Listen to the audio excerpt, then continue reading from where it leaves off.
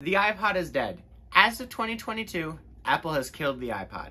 As once we thought they were going to make a sequel to this one, make a better version with a full touchscreen, getting rid of the little home button, but instead they went and killed the thing. So you're probably wondering, why am I making a video talking about is it still worth it? Because obviously it's not. It has two generations behind on updates, it has a processor from the iPhone 7, and the worst camera on screen imaginable. But what if I told you it's still worth it? And here's why.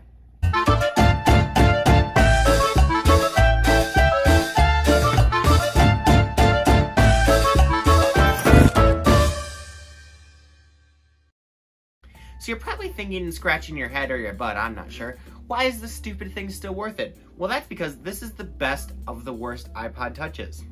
Now, what I mean by that is that Apple is not making any more iPods. They have killed it after 21 years, which means that this is the last one, but it also means it's the newest one and most up-to-date one. See, here's the thing. iPod's classic editions are fine. Anyone can still use them. You can mod them, you can do whatever, because they don't need software updates. They're not a touch UI system iPod Touches are pieces of shit when they go out of date because they rely on software to run properly. And without updated software, apps stop supporting them and become laggy and hard to use. Now this thing runs iOS 15 point dot dot stupid whatever, 460 or 69 or whatever, right? So basically, this is only two generations behind, which means it still has some of the features like widgets and stuff, and it still feels like an up-to-date Apple experience. And pretty much every app I've tested still works with this thing. Now granted, it has pretty crappy battery life, Either this one is used from 2020, but all the ones you're gonna buy are gonna be used or have a degraded battery. The camera is okay. It's good enough that I use this as my secondary camera for slow motion and stuff, but it's overall just an okay experience. With the screen being okay, the speakers being the worst things on the planet, and you know, just having an overall crappy, okay-ish appearance. Although I really do like how thin in the field is. It really feels like quality. Now the thing is, I was gonna say, oh, these things are so cheap, you can buy them. Yeah, they're not cheap anymore. They've shot up in price since Apple discontinued them. So they're not like a great, you need a secondary camera option anymore considering how expensive these are to get. But nevertheless, they are still a good value to buy if you want an iPod Touch experience. And I'd recommend that if you're thinking about owning an iPod Touch and getting the experience one, you do it soon. Because these things are only going to get older and slower and left behind even more than they already are. Right now it's only two generations behind, which means most stuff still works for it and it doesn't feel that out of date. But slowly, as time goes on and on, it is gonna get more out of date and feel even worse. To the point where it's like, huh, this is kind of crappy and slow, like all the other iPod Touches that are crappy and slow.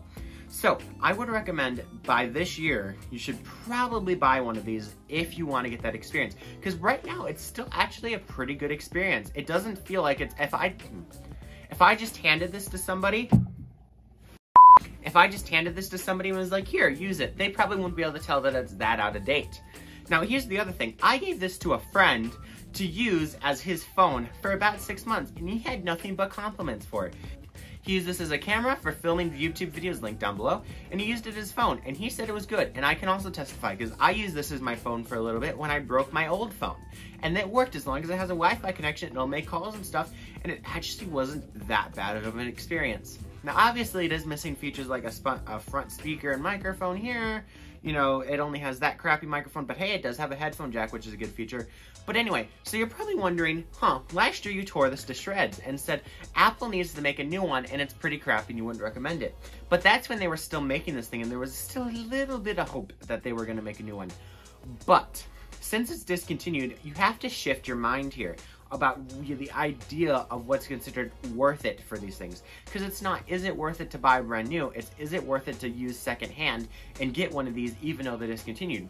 And I would say yes, because this is the best of the worst, like I've been saying through this video. It's the only good one that doesn't feel like a crappy experience yet. Now there's a caveat to that. If you load it up with crap, it runs really slow. So I would try to keep these things around 50 gigabytes because they run pretty good there. Uh, over that, they start to run kind of choppy and bad. Uh, and that's why I kind of downed mine because it was running really crappy. But then my friend cleared it out and it runs a whole lot better. And that's also kind of a key point into what changed my mind about this. But either way, I would say overall, it is still worth it and you should definitely buy it while you can. Now that is a caveat that each year and each consecutive update, it is going to slowly get worse and left behind.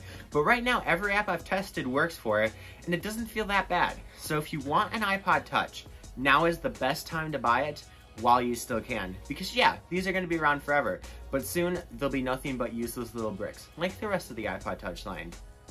Huh, they're kind of e-waste actually. But either way, as of this year, it is still worth it, and I will continue to make videos about it until I deem it not worth it anymore. But until next time, if you did enjoy this video, make sure you comment, like, subscribe. Until next time, I'll see you on the next one. Peace.